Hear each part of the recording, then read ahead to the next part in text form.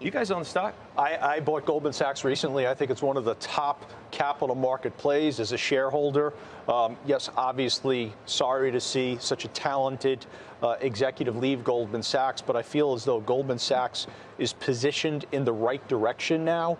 Um, clearly, since December, they had a little bit of a breakout. You're maintaining that even post earnings. Stock trading at 376. I see the stock going above the November high at 426. I like where they are. And we are thinking about a capital markets recovery. Think Goldman Sachs. Weiss, you own Goldman too, yeah?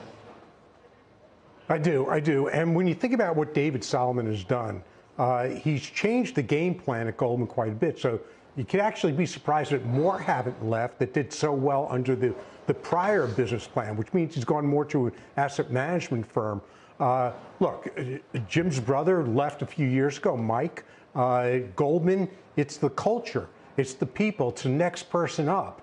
So I think David Solomon has done a great job. Waldron is unbelievably well liked by everybody comes into contact with him.